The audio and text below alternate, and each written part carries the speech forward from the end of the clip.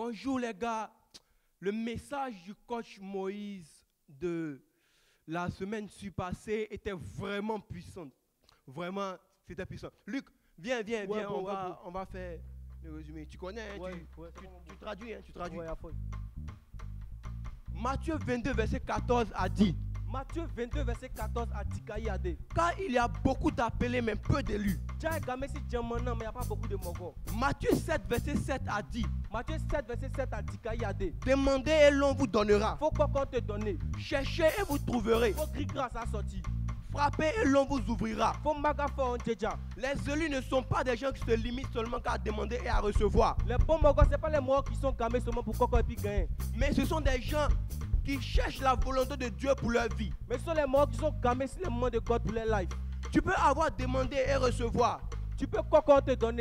Mais est-ce que tu cherches réellement la volonté de Dieu pour ta vie? Mais elle était gamée sur les moments de God pour ta life? Même dans les petites choses, tu dois trouver la volonté de Dieu pour ta vie en fait d'agir en fonction. Même dans les moments fouets, tu dois être gamé sur les moments de God pour ta life. Le problème est que tu as peur que la volonté de Dieu ne soit pas ta volonté dans ta vie. Les c'est que cœur est mort que tu ne sais pas ce que tu veux, c'est que God veut aussi. Pourtant, tu oublies une chose, Alors que tu n'es pas au courant des moments. c'est que la volonté de Dieu pour ta vie est la meilleure. Le moment de God pour ta life, c'est le meilleur. Vraiment, je vous encourage les gars à, à être concentrés sur ce message aujourd'hui parce que le coach Moïse a quelque chose de puissant à nous transmettre. Champion, faut bien te potes, as écouté, parce que le pasteur va te dire qu'il y a aujourd'hui, ça va te toucher. Vraiment, restez concentrés les gars. Ouais, tu connais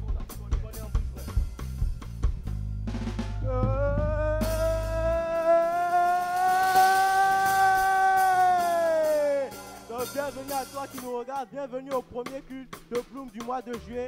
Je t'invite à partager le lien, à liker la vidéo, à t'abonner si tu n'y es pas encore. Et puis Mbappé, si tu ne sais pas encore c'est quoi, tu peux demander en commentaire, les gens vont te coumer un peu c'est quoi. Donc, euh, comme ils l'ont dit, n'aie pas peur, n'aie pas peur du plan de Dieu pour ta vie. Parce que Dieu dit qu'il a formé des projets de paix, de bonheur, non de malheur pour ta vie. Donc n'aie pas peur de lui demander de le laisser faire sa volonté dans ta vie. Toi-même, tu seras agréablement surpris. Donc sans transition, nous allons, nous allons apporter à notre Seigneur avec un cœur rempli de joie. Nous allons apporter dans la maison du Seigneur nos offrandes, la dîme qu'on a prévue pour lui. Donc tu peux euh, soit envoyer ton offrande, ta dîme, au- grâce aux différents, aux différents monies que tu trouves qui vont s'afficher en bas de l'écran, ou tu peux mettre ton argent, ta dîme, ton offrande, ta semence dans une enveloppe. Tu écris Bloom dessus et tu le déposes à Kodesh. Et nous allons donner nos offrandes sous la conduite de Bloom. Yeah! Alléluia!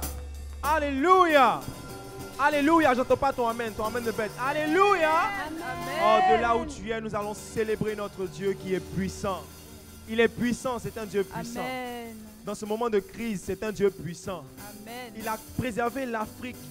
Nous avons vu combien de fois sa main a été étendue sur l'Afrique. Waouh! Waouh! Dis avec moi, waouh! Wow. Wow! Oh, ah, ya, ya, rebosha. Hey! Aha! Come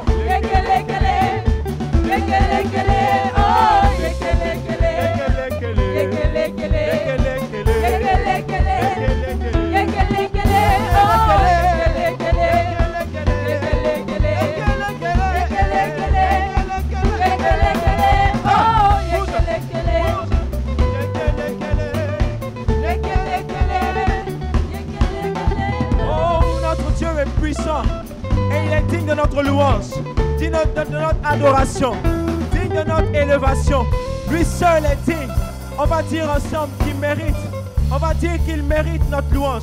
On va dire qu'il mérite notre louange. Lève-toi. Lève-toi pour rendre honneur à ton Dieu. Lève-toi pour crier. Si ton voisin doit t'entendre, il va t'entendre. Si ton père doit t'entendre, il va t'entendre. Si ton ami doit t'entendre, il va t'entendre. Mais il faut qu'il sache que notre Dieu est puissant.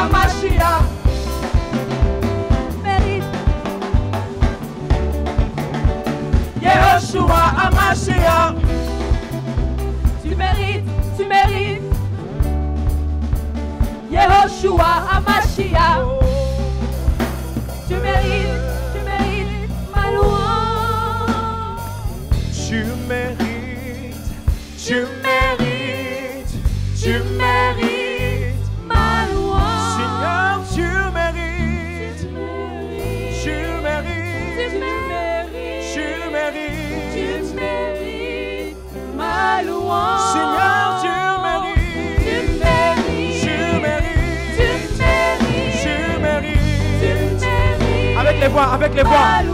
Seigneur, tu mérites. Tu mérites. Tu mérites. Tu mérites. Une dernière fois avec les voix. Seigneur, tu mérites. Tu mérites. Tu mérites. Tu mérites. Ma louange.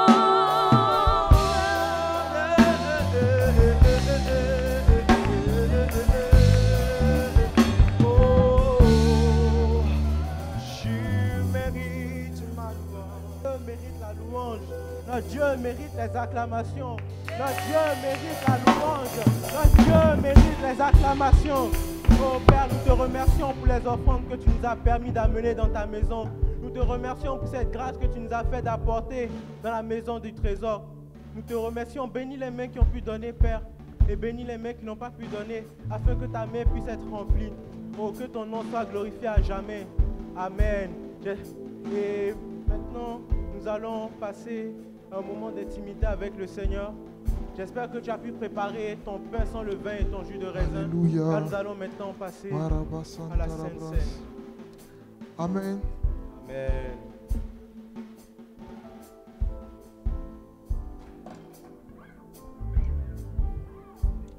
Amen. Nous allons, nous allons chanter quand même un petit chant qui dit euh, Il y a puissance dans le sang de Jésus. Il y a puissance dans le sang de Jésus pour briser, pour briser les chaînes, briser les chaînes, toutes les chaînes,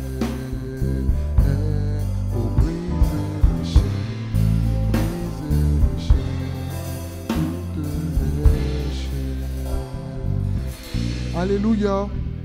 Tu vas prendre ta Bible dans Jean 6, le verset 4. La Bible dit, Celui qui mange ma chair et boit mon sang demeure en moi et moi je demeure en lui. De même le Père qui est vivant m'a envoyé et que ma vie et que moi je vous ai donné Celui qui mange ma chair et qui boit mon sang demeure en moi et je demeure en lui.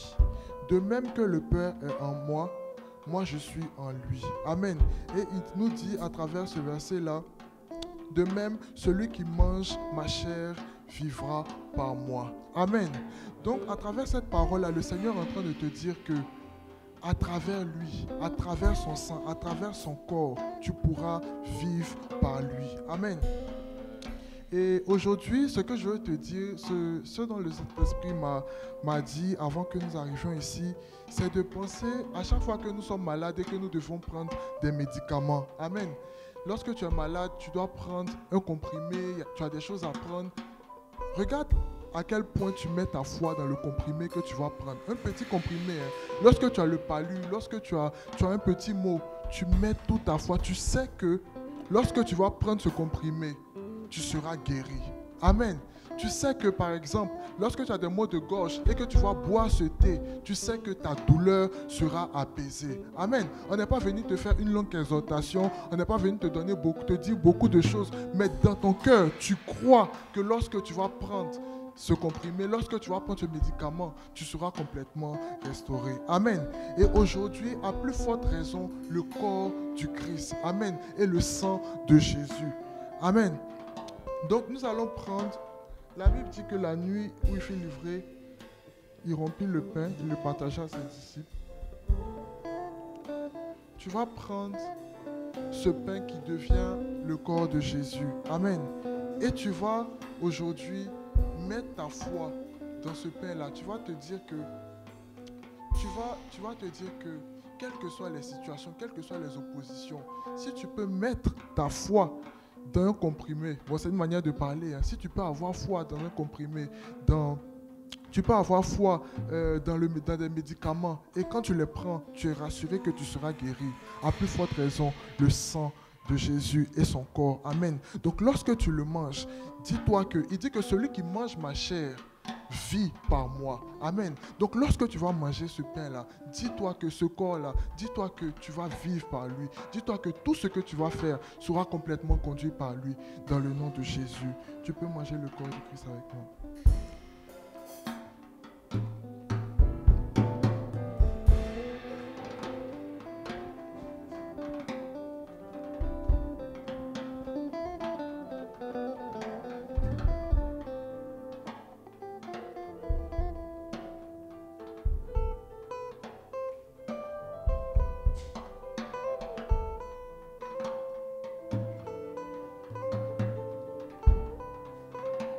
Tu vas prendre le sang. Amen. La Bible dit que le sang parle. Amen. Le sang d'Abel, lorsque, lorsque euh, Caïn a tué Abel, Amen, il y a quelque chose qui s'est passé. Amen. Le sang d'Abel a crié. Amen. Le sang, c'est Abel, non? Le sang d'Abel a crié. Amen. Le sang d'Abel a crié. Et ça veut dire que à travers ce verset-là, ce verset-là nous montre que le sang parle. Amen.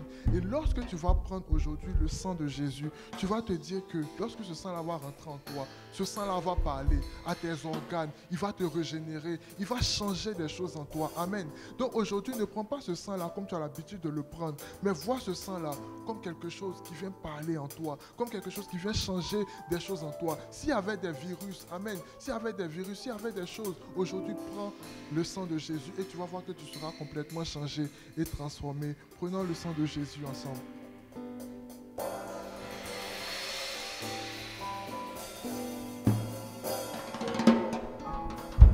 Amen. Tu peux acclamer le Seigneur.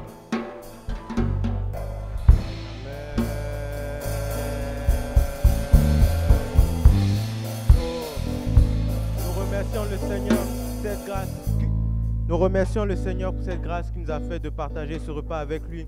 Et coach Moïse, notre papa, nous a, nous a dit qu'il ne faut pas enseigner le Saint-Esprit, il ne faut pas enfermer le Saint-Esprit dans une boîte. Et nous allons accueillir quelqu'un qui a justement- n'a justement pas enfermé le Saint-Esprit dans une boîte et l'a laissé travailler dans sa vie. Ensemble, nous allons recevoir Oriane sous vos acclamations. Hey Salut tout le monde, alors moi c'est Oriane et si je suis ici présente, c'est pour te parler de ce que mon meilleur ami le Saint-Esprit a fait pour moi au niveau du manque de confiance en soi. J'ai toujours été une personne, j'avais toujours été une personne qui n'avait vraiment pas confiance en elle. Ça m'a freinée à bien des égards et ça, c'était vraiment un problème pour moi. Souvent même aux répétitions, tout le monde est en train de participer, on crée les et puis moi je suis derrière dans un coin parce que je me dis, bon, il a dit quoi même? Disons, moi, il a dit quoi de bon en fait? Donc ça faisait que, franchement, je ne me sentais pas à l'aise. J'avais envie de participer, mais ça me freinait énormément. Et c'est le jour où j'ai décidé d'écouter cette voix qui à chaque fois me disait, tu peux le faire, tu en es capable, fais-moi confiance, laisse-moi tout diriger. Le jour où j'ai écouté cette voix-là, il n'y a, a plus ce problème-là. J'ai décidé de faire confiance au Saint-Esprit parce que je ne voulais plus faire les choses par moi-même, mais je voulais le laisser agir, je voulais lui laisser la place. Et je t'invite à faire pareil comme moi, parce que le Saint-Esprit, c'est bien plus qu'une- qu'un esprit qui se trouve dans une chambre quand tu dois adorer. C'est une personne, c'est en soi une personne qui te parle. C'est une voix que tu entends souvent quand tu es démoralisé, qui te motive, qui te booste. Écoute cette voix et fais-lui confiance, car elle sait ce qui est bon pour toi. Donc euh, voilà, c'est moi et à plus.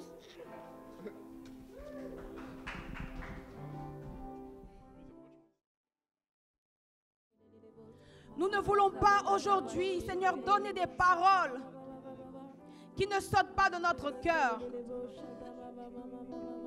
C'est pourquoi, Saint-Esprit, nous venons dans ta présence avec des soupirs, des soupirs, des soupirs, des soupirs. Saint-Esprit, sature ce lieu de ta présence, nous t'appelons. Pendant que nous sommes ici en train de t'adorer, nous prions, oh Dieu, que tu descendes dans les maisons, que tu descendes dans les chambres, que tu descendes, Seigneur, dans toute pièce où quelqu'un suit, Seigneur, ce culte.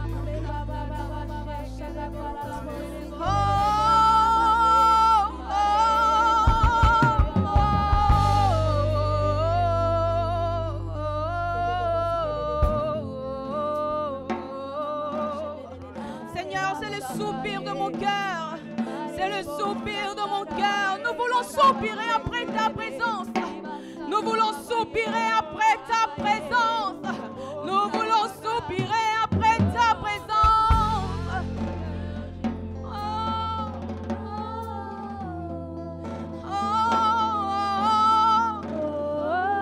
Est-ce que tu peux soupirer ce matin? Soupire, soupire.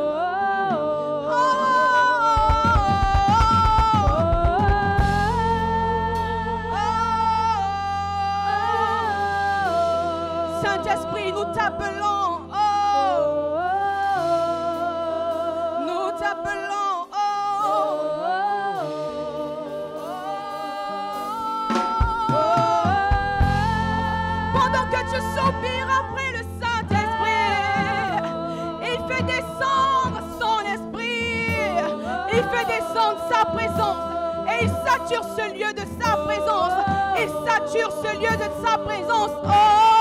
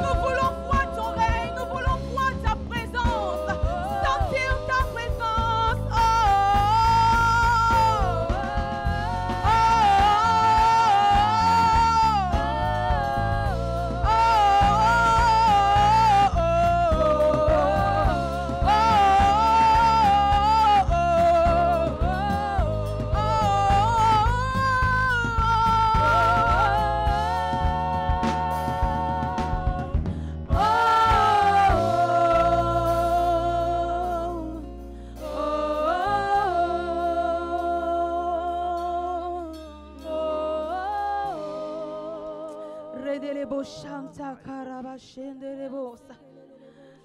Oranele bo şendele bo santa karaba. Rendele bo sakataraba.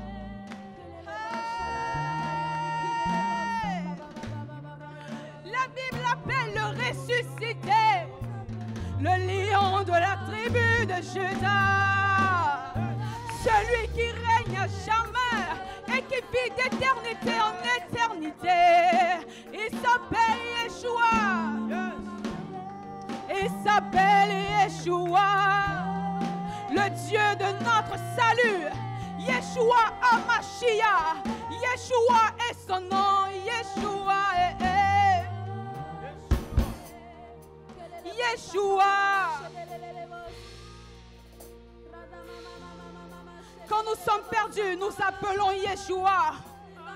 Quand nous sommes perdus, nous appelons Yeshua. Quand nous sommes perdus, nous appelons Yeshua. Yeshua.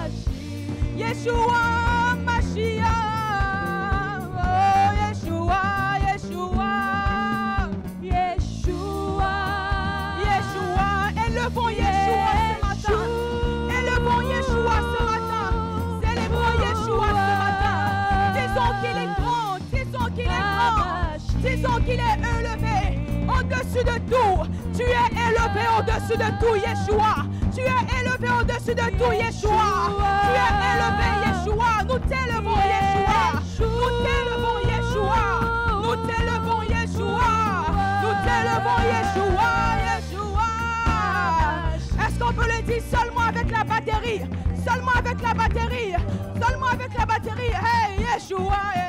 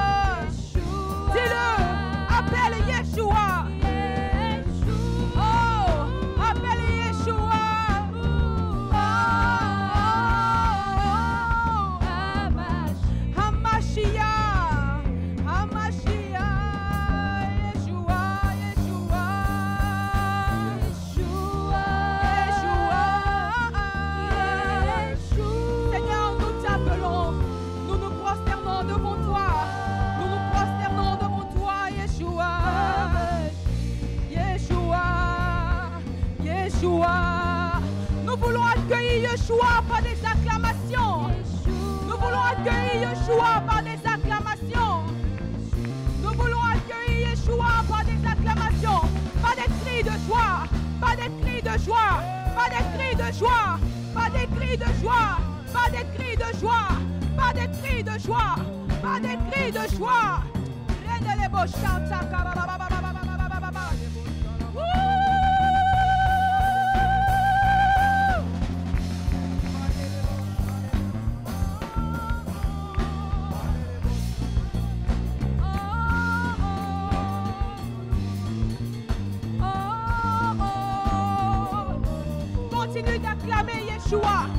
Continue de lever Yeshua. Continue d'acclamer Yeshua. Élève-le. Car il est digne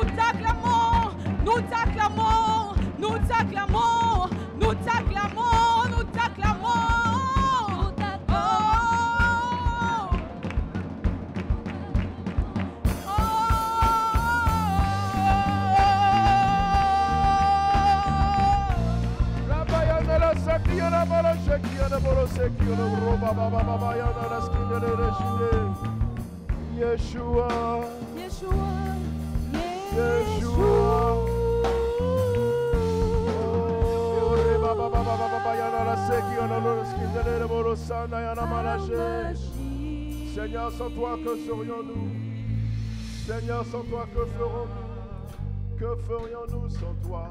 Parce que tu es Yeshua. Tu es Yeshua. Et sans toi, nous ne pouvons rien faire. Tu nous as déclaré cela dans ta parole. Dans le livre de Jean 15, au verset 5, que sans toi, nous ne pouvons rien faire. De nous-mêmes, nous ne pouvons porter aucun fruit. De nous-mêmes, nous ne pouvons porter aucune parole. Qui sommes-nous pour te représenter ici? Qui sommes-nous pour porter ta parole? Pour prétendre pouvoir porter ta parole? Si ce n'est par ton esprit.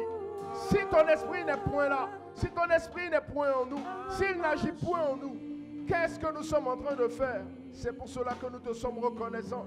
Et pendant que nous diminuons, toi tu crois. Pendant que nous diminuons, toi tu crois. Yeshua, pendant que nous diminuons, toi tu crois.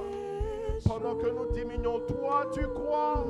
Pendant que nous diminuons, toi tu crois. Les beaux sayana malasiki yanamaoskite. Alléluia. Alléluia. Yeshua, Yeshua, eh. Yeshua. Yeshua. Yeshua. Yeshua. Prends le contrôle de ce moment. Contrôle de ce moment. Prends le contrôle de ce moment. Et dispose toutes choses. Je vois le souffle de ton esprit en train de souffler. En train de souffler sur ce moment. En train de souffler sur l'assemblée. En train de souffler. En train de souffler sur l'assemblée. En train de souffler sur toute personne connectée à ce moment. Parce que nous t'y avons invoqué. Parce que nous t'avons invoqué. Yeshua, Yeshua, Yeshua, Yeshua. Puissant et fort dans les combats. Sage conseiller.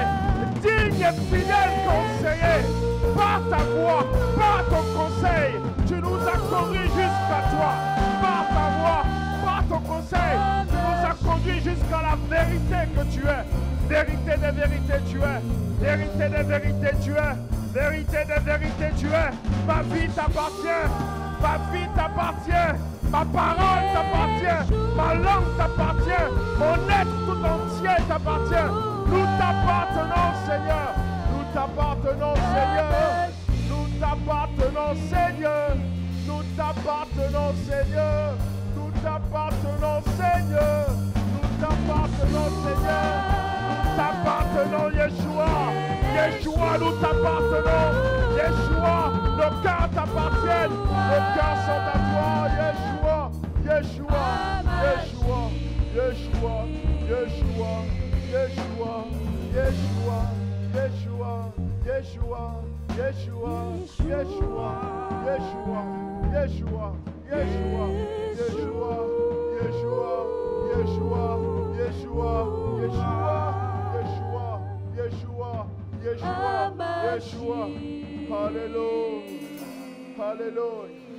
Alléluia. Est-ce qu'il y a quelqu'un qui sent son cœur qu'il doit faire monter une acclamation vers celui qui est digne de toute acclamation, vers celui qui est digne de toute louange, vers celui qui est digne d'être élevé, d'être magnifié, d'être honoré? C'est lui le Seigneur des Seigneurs. Personne n'a été trouvé digne dans le ciel d'ouvrir le livre et de reprendre les eaux. Mais lui, Yeshua, Arrête Yeshua Arrête à 90 Yeshua Arrête à 90 Yeshua Arrête à 90 Jésus Arrête à 90 Jésus Arrête à 90 Jésus Arrête à alléluia, Alléluia Alléluia Alléluia Alléluia Alléluia. Alléluia Notre Seigneur est puissant, puissant et fort dans les combats. N'est-il pas merveilleux? N'est-il pas merveilleux ce prince de paix? Hey! Jesus!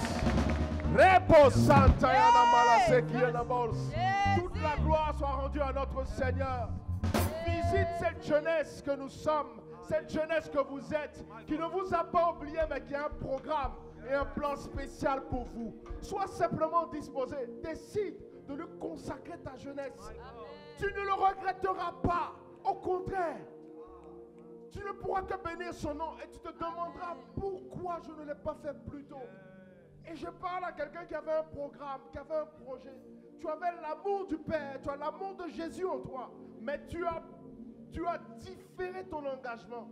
Tu t'es dit, après tes études et après ton mariage, à ce moment-là, tu vas te consacrer à lui pleinement. Tu n'as pas besoin d'attendre la fin de tes études. Tu n'as pas besoin d'attendre la fin de, ton, de, de- de te marier avant t'engager entièrement pour Christ. Alléluia. Même dans tes études, ce Christ-là, il a un programme pour toi. Et quand tu t'engages pour lui, il pourvoit. Alléluia. Et ce n'est même pas un examen qui doit freiner ton engagement. Alléluia. Ce n'est pas un examen qui doit freiner ton engagement. Je vous dis, je vous le témoigne, Dieu accélère. Alléluia. As envie Tu peux témoigner, non? Amen. Tu sais, tu sais de quoi il s'agit. Elle vient Amen. d'avoir son, son master. Master 1 en droit Hein, privé. Approche un peu. Elle vient d'avoir son master. C'est une servante de l'éternel. Elle Dieu. Elle sert Christ pendant ses révisions, pendant ses examens. Elle est la responsable du département de délivrance. Elle n'a pas différé, elle n'a pas délégué. Elle a continué à servir Christ, à répondre à l'appel des brebis pour lesquelles elle est en charge. Dieu l'a bénie, Dieu l'a visitée, c'est fini. Elle va continuer. Hein? Elle peut travailler même. Hein? Alléluia. Amen. Dieu fait ça. Amen. Donc ne limite pas Dieu. N'enferme pas le Saint-Esprit dans une. What? Alléluia. Ne fais pas ça. Tu fais des projets, des calculs. Ils n'ont pas Christ. Toi, tu as Christ. Tu as quelque chose en plus. Certes, tu vas travailler, mais Dieu va t'accélérer. C'est de là que vient la différence. Jésus parle encore aujourd'hui par le Saint-Esprit. Alléluia. Prends courage maintenant. Et je veux chasser aussi de ta vie tout esprit de peur. Parce que je vois un cœur qui est saisi par la peur. Tu sais ce que la peur va te faire? La peur va t'empêcher d'exprimer ce que tu as en toi. C'est-à-dire la connaissance que tu as pu avoir. Et même toi qui étais dans le doute, qui pense en ce moment que tu n'as pas suffisamment de connaissances, je te dis, même le peu de connaissances que tu penses avoir, si tu continues d'être oppressé par la peur, la peur de l'examen, la peur de l'échec, alors même le peu que tu as, tu ne pourras pas l'exprimer. Je sais que tu as besoin de la puissance de Dieu. Écoute cette parole-là qui te sera donnée aujourd'hui. Elle va t'aider également Amen. à chasser tout esprit de peur, à reprendre confiance en toi. Rien que le contact avec la présence de Dieu te permet d'avoir la victoire sur des esprits comme la peur, sur la, la- la présence, l'oppression de la peur dans ta vie. Reste en contact avec le Saint-Esprit. Tu vois, ne fais pas l'erreur de te dire que pendant tes temps de révision, tu ne vas pas suivre tes cultes, tu ne vas pas le faire. C'est un piège, c'est une erreur. Tu seras plus faible. Alléluia. Amen. Viens t'équiper. Viens prendre de la présence du Seigneur. Il va t'orienter pour tes révisions. Alléluia. Est-ce qu'on peut acclamer très fort le Seigneur? Est-ce que tu peux acclamer plus fort que ça le Seigneur? Alléluia. Alléluia. Je vais demander à Praise de se rasseoir. Sous vos ovations toujours. Alléluia. Que Dieu vous bénisse. pour le travail que vous faites, pour l'engagement et la consécration dont vous faites preuve. Amen. Que Dieu vous le rende au centuple. Quand le servant, vous découvriez une autre dimension de lui qui va vous entraîner dans une percée non seulement spirituelle, mais également une percée sur le plan scolaire, professionnel. Il vous ouvre des portes pour des universités et il fait de vous des élites dans le nom de Jésus. Et là où vous serez, répandez son parfum. Répandez le parfum de Christ au nom de Jésus-Christ de Nazareth. Car il me dit, il t'envoie dans des lieux élevés pour que tu sois un parfum de bonne odeur pour certaines personnes qui ont besoin de ce parfum de bonne odeur. Également, tu seras une odeur de mort pour quiconque voudra se dresser contre toi. Qu'il se repente d'avance au nom de Jésus. Amen. Que Dieu nous bénisse. Alléluia. Amen, amen, amen, amen. Aujourd'hui, donc, nous allons continuer toujours dans notre même dynamique de Piabampe. OK? Pourquoi il y a beaucoup d'appelés mais peu d'élus? On se pose la question de savoir pourquoi et on essaye de répondre ensemble à ces différentes interrogations. Et le dimanche dernier, nous avons parlé du chercher. Amen. On va toujours continuer dans la, dans la dynamique du chercher. On a parlé du chercher pour ne plus tomber si facilement dans le péché. OK? Donc c'est la suite de ce qu'on a vu dimanche dernier. Et si tu n'avais pas suivi le culte de dimanche dernier, je t'invite, il est toujours disponible, il est toujours en ligne. Mais peut-être même que ça va changer bientôt. Donc pour ceux qui se disent qu'ils vont faire un rattrapage dans six mois, ou bien dans deux mois, ou bien dans deux semaines, ou bien après le bac, hmm, je ne sais pas. OK? Mais ça peut changer. Mais pour l'instant, le culte, il est disponible. OK? Le culte de dimanche dernier. Donc, tu peux chercher par la date ou bien tu peux chercher par le titre. Le, thème, c'était euh, chercher afin que vous ne, vous ne péchiez plus aussi facilement. OK? On va continuer dans cette dynamique. Aujourd'hui, ce dont on va parler, on va parler du même thème. On va rester dans le même thème. Mais je vais t'expliquer comment tu peux arrêter de pécher. Comment tu peux avoir la victoire sur le péché avec une loi chimique? À partir d'une loi chimique que, qui existe, qui est connue. Comment à partir de ce principe-là, tu peux avoir la victoire sur le péché? OK? Donc, pour cela, on va faire une expérience. OK? Bon, j'ai pas de blouse, tout ça, mais sinon, j'aurais pu mettre une blouse même. Mais on va faire doucement. OK? Mais on va quand même se protéger. Est-ce que j'aurais pas besoin d'aide? Pour faire cette expérience Je pense que j'aurais besoin d'aide. Alvin, tu peux me donner un coup de main? Hein? On va respecter les, les, les gestes barrières autant qu'on puisse. Et toi aussi où tu es, respecte les gestes barrières. Yaki? On dit Yaki ou bien Yaki? Hein? On dit tout. On dit Yaki, Yaki. Bon, tout ce que vous voulez. En tout cas, pardon, pardon. C'est en Yaki. Ok? Donc tu vas tenir un micro. Tu vas te tenir quand même à plus d'un mètre de moi. On va essayer. Hein? Euh, ok. Donc notre expérience de ce jour-là, c'est sur ce, cette loi chimique-là qu'on va voir maintenant que sera basé l'enseignement d'aujourd'hui. Amen. Et je t'invite à suivre de très près. Donc j'ai ici là une premier ingrédient, une bougie. Est-ce qu'on voit assez bien? Ça, ça, va aller? Hein? Ça va aller? D'accord. Donc j'ai une bougie ici que je vais poser là. On va s'aider également d'une deuxième bougie. OK? Qu'on va poser là également, mon assistante. Voilà. On va se débarrasser de ça parce que c'est du papier. Je n'ai pas envie de créer un incendie, donc tu peux mettre ça juste en dessous. Je vais également, pour les besoins de l'expérience, vous voyez, mon assistante a des lunettes. Donc, je vais m'aider aussi de lunettes, de lunettes scientifiques, OK Pour éviter les éclats, parce que c'est une expérience chimique, je vous ai dit. Ouais, c'est professionnel. OK. Donc, ce qu'on va faire maintenant, on va essayer. En fait, j'ai voulu que ce soit dans le fond, dans le fond noir, pour, à cause de la flamme. On est dans le fond noir. Il faut que vous voyez la flamme. On a besoin de la flamme. OK? D'accord. Donc, on va essayer de faire tenir ça. Tu vas essayer d'allumer les, les, deux bougies. Tu peux poser ton micro que je n'utilise pas pour l'instant. C'est bon? Donc, essaie de faire tenir la bougie. Tu vois, tu fais fondre la cire et puis tu mets ça pour que ça se maintienne. Tu essaies d'écarter quand même les, tu mets une là, une là ici, et puis l'autre, tu la mets quelque part ici. OK? Donc, si tu es à la maison, s'il te plaît, ne fais pas la même expérience. Je ne sais pas si tu es dans, quelle position tu es, dans quel endroit tu es. Ne fais pas la même expérience. Regarde seulement. Hein? On t'a pas dit de faire la même chose. OK? Donc, on a allumé, on a allumé une bougie, n'est-ce pas? On a allumé, les deux bougies et on va, les, on va les positionner. On va essayer de les fixer quand même pour éviter toute forme d'accident. Ok, super. J'ai besoin qu'elle soit vraiment droite. Ah, Là, c'est moi qui ai tout, qui gâté. Ok, super. C'est bon. Voilà. Donc, on a ici deux bougies avec une qui est très bien allumée, qui est super allumée.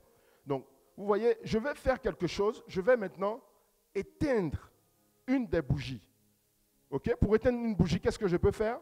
Je peux souffler dessus. OK? Je peux la pincer aussi. Bon, il y a plein de méthodes. Je ne vais pas me bouler les doigts. Donc, qu'est-ce que je vais faire?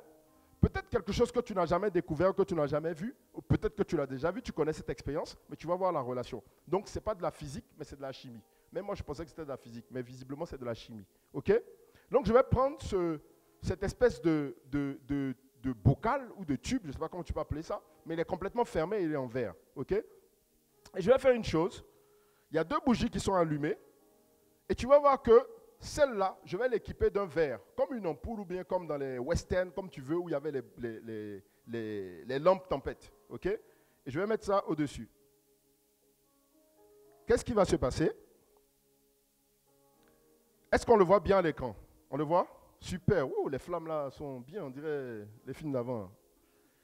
OK Donc, qu'est-ce qui vient de se passer? Elle s'est éteinte. Est-ce que j'ai soufflé dessus? Non. Est-ce que je l'ai touché? Non. Peut-être que tu ne me crois pas, tu te dis, l'autre bougie, elle est pourtant tout le temps toujours allumée. OK On va l'allumer encore une dernière fois. Tu vas revoir l'expérience. Voilà. Je remets encore dessus. Et qu'est-ce qui va se passer? Elle s'éteint de nouveau. La bougie s'éteint. Si tu veux, bon, je ne peux pas le faire ici parce que c'est un peu calé, mais je vais essayer quand même. C'est un peu plus difficile. Et voilà. Elle s'est même éteinte plus vite que l'autre avant que je ne l'ai posée. Et si vous voyez à l'intérieur, c'est complètement rempli de fumée. OK? Donc, voilà une expérience que je viens de faire. Et cette expérience, en fait, est une démonstration d'une loi, d'une loi chimique qu'on appelle le triangle de feu. OK? Triangle de feu ou triangle du feu, il y en a qui disent ça. Mais c'est le triangle de feu. Et c'est quoi le triangle de feu? Donc c'est bon, je pense qu'on a fini avec notre expérience. Je vais retirer mon, matériel. OK? Merci mon assistante. Est-ce qu'on peut acclamer pour l'assistante? Alléluia. Donc, voilà une expérience que je viens de faire qui est basée sur une loi, une loi chimique qui s'appelle le triangle de feu. Et le triangle de feu dit quoi? Cette loi dit quoi? Cette loi dit que pour qu'il y ait un feu, ok? Pour qu'il y ait un feu, il faut l'intervention de trois éléments. Trois éléments qui vont s'afficher à, l'écran. Trois éléments. Et ces trois éléments-là sont quoi? Sont, tu le sais sûrement si tu l'as vu à l'école, donc c'est le combustible, ok? Le comburant et la source d'énergie, ou alors source de chaleur, ok? Ou la source de chaleur. Donc, j'ai failli dire la Bible dit. Mais si, c'est forcément quelque part, c'est codé quelque part. Amen. C'est une loi. C'est Dieu qui a fait les lois. Amen. Donc, cette loi chimique dit que, cette loi du triangle de feu dit que, il faut ces trois éléments à la fois pour qu'il y ait un feu. Et tout à l'heure, ce qu'on vient de voir, c'est que quand on a allumé les bougies, il y avait effectivement du feu. Il y avait du feu pourquoi? Il y avait du feu parce que la loi de, euh, du triangle de feu, le triangle de feu était, les règles du triangle de feu étaient respectées. Donc il y avait ça qu'on appelle un combustible. Le combustible donc est défini comme quelque chose qui, qui est capable de conserver de l'énergie. Ok, suis-moi très bien. Le combustible est défini comme quelque chose qui est capable de faire quoi? De conserver, d'emmagasiner, de stocker de l'énergie. Donc, ça, c'est un combustible. Pourquoi c'est un combustible? C'est un combustible parce que c'est de la, c'est c'est de la paraffine, ok? De la paraffine, c'est un dérivé d'un produit euh, d'hydrocarbures. Bon, ça devient compliqué tout ça. Bon, c'est genre dérivé de pétrole, tu vois. Mais en tout cas, tout le monde sait que bougie, ça brûle. Bougie, c'est fait pour être allumé. La bougie, c'est fait pour être éclairé, bon, tout ce que tu veux, Au bout de, cette, euh, de ce combustible, il y a une mèche, ok? Une mèche qui va permettre de faire quoi? De, canaliser la, chaleur, de canaliser cette source de chaleur. Cette mèche elle-même est elle-même imbibée de l'ensemble de la matière qu'est la bougie, de la paraffine, Ou encore de la cire, comme on dit. D'accord Donc ça, c'est le combustible. C'est ce qui va brûler. C'est elle, c'est la, la bougie qui va être conservée. Quand la bougie finit, quand le combustible finit, il n'y a plus de feu. Tu commences à comprendre? Donc, le principe du triangle de feu, c'est que il faut forcément les trois éléments. Le deuxième élément, c'est quoi? Le deuxième élément, ça sera ce qu'on appelle le comburant. Le comburant, c'est celui qui permet de- d'entretenir aussi un, élément du feu. Donc le comburant, ça sera dans notre cas ici, dans le cas de, notre expérience, ça sera l'oxygène, le dioxyde. Oxygène, le dioxyde, c'est ça. Donc l'oxygène va être un comburant. Et enfin, avant d'arriver à mon propos, le dernier élément, qui était la source de d'énergie, la source de chaleur, et on a tout simplement pris une allumette pour pouvoir allumer notre bougie. Donc ça, c'était dans notre exemple. La source de chaleur, on l'a prise à partir d'une allumette qui a permis de d'enflammer la bougie et faire en sorte que la bougie, le feu se maintienne. Qu'est-ce qui s'est passé? Donc quand j'ai utilisé le vase, quand j'ai utilisé le verre J'ai posé le verre sur la bougie. Quand j'ai posé le verre sur la bougie, ce qui s'est passé, c'est que j'ai privé le feu de la bougie d'un élément de l'équation, d'un élément du triangle. Vous savez pourquoi je fais tout ça? Parce qu'on est en période de révision, d'examen, de tout ça. Donc, tu vois, c'est un clin d'œil, quoi. Tu tu as l'impression que tu es en train de réviser. C'est un clin d'œil pour toi. Tu vois, c'est que toi-même, quand tu seras en train de bosser là, tu ne vas pas être distrait, t'inquiète pas. Mais le Saint-Esprit va te montrer des choses terribles pendant que tu es en train de bosser. Et pendant que je parle, il y a une équation qui se résout dans ta tête. Alléluia. Gloire à Dieu, gloire à Dieu. Ça va passer, ça va finir bientôt. Tu vas venir ici, tu seras tellement détendu. Tu vas célébrer avec nous. Tu vas célébrer au nom de Jésus. Tu l'auras cet examen-là. Tu l'auras. Amen. Donc, quand je pose le vase, je fais quoi? Je, je casse un élément de la chaîne. Je le casse. Je retire le, le quoi? L'oxygène. Parce que je prive la flamme d'oxygène. Donc, il n'y a plus d'oxygène une fois que je pose le vase au-dessus de la bougie. Il n'y a plus d'oxygène qui peut atteindre la bougie. Donc, l'oxygène ne pouvant plus atteindre la bougie, c'est comme s'il y a un élément de l'équation qui est cassé et le feu fait quoi? Il s'éteint, tout simplement. Aussi simplement que ça. C'est ça le principe du triangle de feu. OK? Maintenant, pourquoi je te parle de tout ça? Si vous vous souven- souvenez bien, en 2018, on avait reçu un puissant enseignement de la part de pasteur Mohamed Sanogo. Donc en 2018, je t'invite à essayer de le retrouver, qui parlait de, des codes, du code, ok? Code C-O-D. Ce n'est pas complément d'objet direct, ok? Mais c'est plutôt code, c'est les initiales de capacité, opportunité et désir. Ok? Je reprends. Capacité, opportunité et désir. Donc, Pasteur Mohamed l'avait enseigné dans le cadre de la bénédiction. Il en avait parlé dans le cadre de la bénédiction et de la malédiction. Pendant qu'il donnait l'enseignement en 2018 sur les bénédictions et les malédictions. En expliquant, bon, je ne vais pas rentrer dans le détail de ça, mais je t'invite, s'il te plaît, si ça t'intéresse, et ça doit t'intéresser parce que ça nous a fait énormément de bien, ça nous a permis d'avancer sur beaucoup de choses, et ça va te permettre également, toi, d'avancer dans beaucoup de choses. Beaucoup de choses que tu ne comprends pas aujourd'hui, qui sont bloquées aujourd'hui, rien qu'à cause de ce principe-là, qui n'est pas respecté, ok? Donc, Pasteur Mohamed avait employé donc, la capacité, l'opportunité, le désir. Et, et- tu vois, ce qui s'est passé en moi, c'est que j'ai étroitement lié la capacité, l'opportunité, le désir, je l'ai étroitement lié également au triangle de feu. OK? Et je pense que c'était conduit par le Saint-Esprit parce que plus il m'a conduit, plus je me suis dit, waouh, quel principe, quelle révélation. Comment c'est clair, comment c'était aussi clair? OK? Donc, capacité, opportunité, désir. Dans notre équation de triangle de feu, je vais te demander maintenant de faire un parallèle. Tout à l'heure, j'ai dit que les trois règles, c'était le comburant, le combustible et puis la source d'énergie. Dans notre cas ici, je vais te demander de considérer maintenant que, considérons que le combustible, le combustible soit défini comme la, le combustible devient la capacité, ok? Donc le combustible égale maintenant la capacité. Le comburant, qui est l'oxygène, devient quoi? L'opportunité, ok? Et enfin, le désir devient quoi? La source d'énergie. Notre allumette. OK? Donc voici notre triangle de feu reconverti qui va te permettre de comprendre un principe spirituel qui est derrière le péché.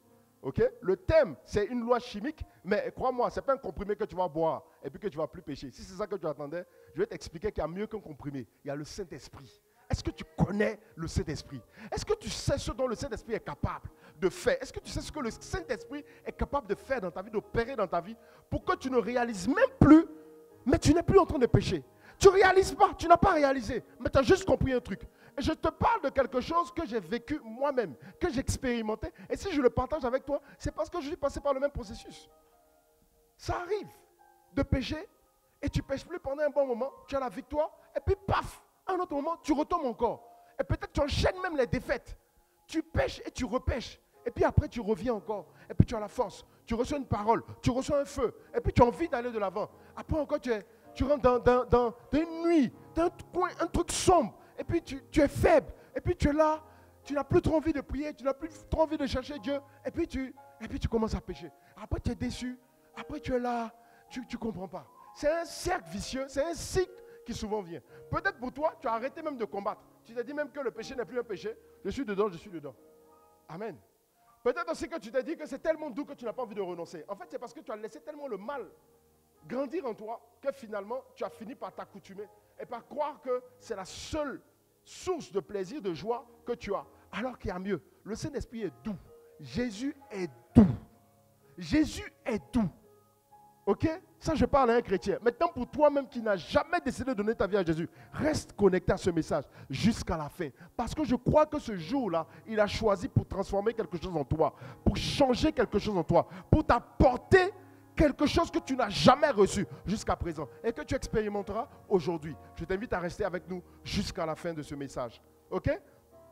Donc, qu'est-ce que je disais? Capacité, opportunité, désir. En fait, ce principe-là, Pasteur Mohamed expliquait que la capacité, opportunité, désir marchait aussi bien pour la bénédiction que pour la malédiction. Pour qu'on te maudisse, pour qu'une malédiction soit active en toi, il faut également qu'il y ait une capacité, une opportunité et un désir. Donc un désir pervers de quelqu'un qui a un mauvais désir envers toi, une opportunité, une occasion qui t'a été donnée, et puis une capacité à la personne de pouvoir maudire ou bien de pouvoir envoyer une malédiction. ok? Maintenant, ce que je veux te dire là, vis-à-vis -vis du péché, parce qu'on parle du péché, tu as également, quand tu dois pécher, il y a les trois processus qui se mettent en place. Il y a comme un triangle de feu qui va créer un feu qui ne sera plus un feu, mais qui sera le péché. OK?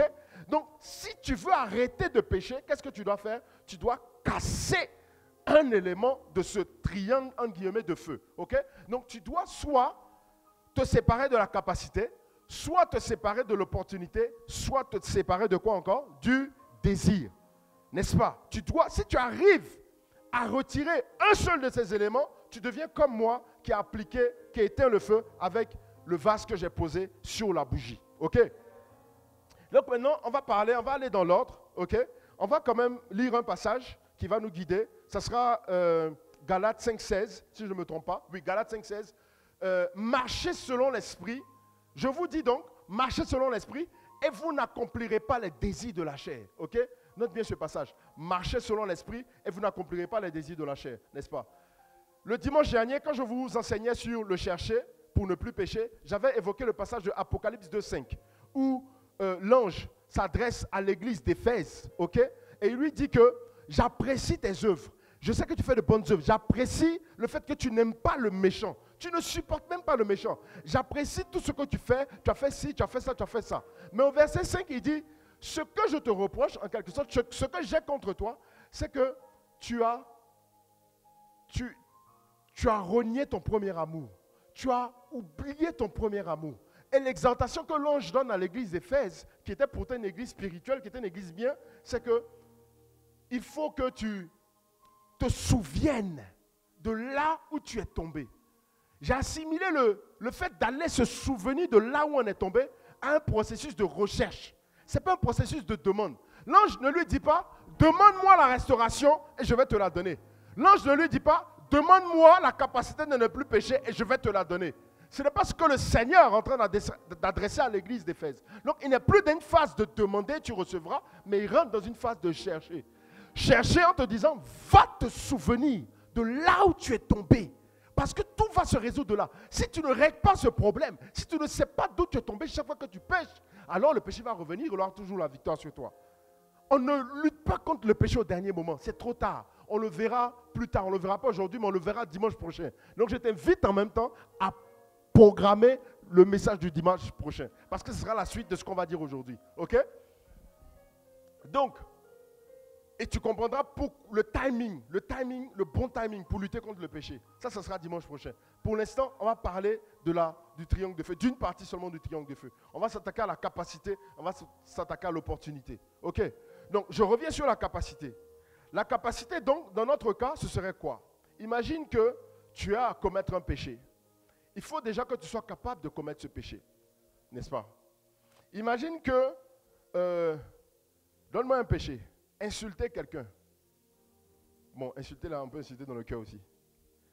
Quel, bon péché on peut faire avec euh, et du bon péché Il n'y a pas de bon péché, excusez-moi. Il n'y a pas de bon péché. Quel faux péché tu peux faire? Alléluia. Bon, voilà, voler. Le péché de voler. Bon, imagine maintenant que si tu, tu, as, toi tu veux commettre un péché, tu veux voler de l'argent. Tu veux voler de l'argent, mais tu veux voler mon matériel qui est là. Ok? Maintenant, toi tu n'as pas de bras. Tu n'as pas de pied. Ta bouche même, il y a un masque dessus à cause de Covid. tu n'as pas tout ça. C'est quelqu'un même qui met ton masque. Comment, pendant que tu es à 10 mètres de tout ça, comment tu vas faire pour venir voler ici? C'est-à-dire que même si tu avais l'intention, tu avais le projet de voler foncièrement en toi là, si tu pouvais là, tu volais sur place, tu as résolu ça en ton cœur. Mais maintenant, tu ne peux pas voler. Pas voler, voler, hein, voler, voler. Tu vois, voler, mettre dans la poche. Tu ne peux pas parce que tu n'as ni bras ni pied pour t'approcher de l'objet de ton péché, de l'objet de ta convoitise, de ce qu'elle te fait pécher. Donc, il y a une capacité que tu n'as pas. Tu n'as pas la capacité. OK? Donc, si tu n'as pas la capacité, tu ne peux pas non plus pécher. Même si on peut dire que peut-être tu as péché dans ton cœur. Mais on n'a pas d'exemple encore pour dire que tu as péché dans ton cœur, à part le péché de la, de, la, convoitise. À part le péché du sexe, Jésus ne nous a pas donné un autre exemple pour dire que tu as déjà péché même quand tu as pensé à ça. Il n'y a pas d'autre cas de préméditation, hein, les juristes, n'est-ce pas? Hein, De péché, tu, vois, entre quelqu'un qui... Non, on ne va pas rentrer de ça. J'ai posé une colle à mes éléments la dernière fois. J'ai dit, bon, quelqu'un prend un pistolet et puis il menace de tuer quelqu'un. Il a le pistolet en main et puis il. Et puis on sent même qu'il était fâché, veut tuer la personne. Et puis il tire. Maintenant quand il tire, ça fait clic. Pourquoi? Parce qu'il n'y a pas de balle dedans. Bon, on fait quoi? Il va en prison ou bien il ne va pas en prison? Ah, C'est ce que tu dis. Maintenant, c'est quand tu vas rentrer dans la loi, là, tu vas voir que c'est compliqué. Bon, bref, ça dépend même des pays. Donc là où tu es là, tu peux répondre à la question pour savoir si tu es coupable ou pas. Mais ça, là, c'est un débat. Mais enfin, si les lois ne sont pas claires, tu es mort. Tu ne sais même pas comment tu vas justifier ça. C'est pas aussi évident. Bref, c'était une parenthèse pour parler de la préméditation, du péché que tu vas accomplir mais que tu ne peux pas accomplir. En gros, si tu n'as pas la capacité, voilà un autre exemple. Quelqu'un qui veut, euh, euh, euh, qui veut commettre un meurtre, qui veut tuer quelqu'un avec une arme, mais qui ne sait pas que, il ne sait pas manipuler une arme. Donc il a l'arme dans la main et puis il essaie de tirer. Mais vous savez, sur les armes, il y a ce qu'on appelle la sécurité. Il y a une sécurité qui fait que par accident, tu ne peux pas tirer. Tu peux mettre le pistolet là, si tu as mal manipulé. Tu vois les portables là, souvent là, tu manipules ton portable dans ta poche, ça lance les appels. Imagine si les pistolets étaient comme ça. Pistolet dans ta poche, tu. Ouais, euh, attention. Cadeau, tu vois. Là, c'est pour ça qu'on met une sécurité dessus. Comme ton téléphone aussi, les gens ont réfléchi pour dire qu'on va faire un verrou, on va verrouiller les téléphones de telle sorte que quand c'est dans la poche là, tu ne puisses pas appeler. Il y a des téléphones même qui sont paramétrés automatiquement. Dès que le téléphone est dans la poche, il sait qu'il est dans la poche. Et puis c'est verrouille seul. Même si toi, tu n'as pas verrouillé. C'est qu'il y a des téléphones comme ça. Tout ça, c'est la sécurité. Donc quelqu'un qui ne sait pas manipuler une arme, qu'est-ce qu'il va prendre? Il va prendre l'arme, il va vouloir commettre un meurtre, mais il ne pourra pas. Parce qu'il ne sait pas. Il n'a pas la capacité de manipuler une arme. C'est ça la capacité. OK? Donc ça, c'est pour te définir, c'est quoi la capacité? Et la capacité, j'ai dit que c'est quoi? C'est le combustible. OK? La capacité, c'est le combustible. Maintenant, quand tu, arrives à ça, quand tu comprends bien la capacité, réfléchis maintenant à, tout autre exemple. Bon, avant de, continuer, je vais te donner l'exemple aussi de, de, l'environnement, du comburant. Donc, le comburant qu'on a dit qui était quoi? Qui était l'opportunité. Un autre exemple de péché, si on veut prendre l'exemple de, de mon voleur, enfin, de ce voleur, qui n'a pas de bras, qui n'a pas de pied, qui est à 10 mètres de l'objet qu'il veut voler il a l'intention de voler, mais si sur cette table, il n'y a, a, pas ce qu'il veut voler, c'est-à-dire qu'il voulait voler ses lunettes, Mais ces lunettes ne sont pas sur la table. Elles ne sont pas sur la table. Je les ai mises là, sous mes aisselles. Comme quand tu montes dans le bus et tu ne veux pas qu'on te vole. Ou bien j'ai les lunettes sur mes yeux. Comment tu as fait pendant que je ne dors pas pour venir lever les lunettes? C'est ça que tu vas m'expliquer. OK? Donc, même si notre voleur potentiel avait des bras et avait des pieds, il n'allait pas pouvoir venir voler les lunettes parce qu'il n'a pas d'occasion de voler. Il peut les convoiter, mais il n'y a pas d'opportunité. L'opportunité, c'est quoi ici? L'oxygène que j'ai neutralisé tout à l'heure avec mon expérience. L'oxygène ici, pour commettre le vol, le péché du vol, c'est l'opportunité que j'ai été distrait un moment. Et que j'ai dit, hé, oui, mon assistante, hein, on dit quoi là-bas? Il dit, yeah Donc là, lui, il a la capacité parce qu'il a les bras, il a les pieds. Contrairement à mon premier voleur, bien qui n'avait pas de bras, de pieds. Lui, il a les bras, il a les pieds, et puis maintenant, il a l'opportunité. Qu'est-ce qu'il va faire? Il va venir, il va voler. Mais quelqu'un qui va venir voler comme ça, qu'est-ce qu'il aura eu d'autre? Il aura eu aussi, avant tout, avant tout, il aura eu quoi? Le désir. Tout part du désir. Et le désir, on ne va pas le voir aujourd'hui. Le désir, on va le voir dimanche prochain. Alléluia. Mais tout part du désir. Parce que si tu as la capacité, si tu as l'opportunité, mais que tu n'as pas le désir de voler, mais tout ça, ça va glisser sur toi. Tu vas voir les lunettes passer, ça ne te dit rien, tu n'en as pas besoin. Tu vas voir les filles passer, ça ne va rien te dire, parce que tu n'as pas le désir. Quelqu'un va venir te proposer de l'alcool, ça ne va rien te dire, tu n'as pas le désir de l'alcool. Tu n'as pas développé ça en toi. Désir de l'eau, c'est bon.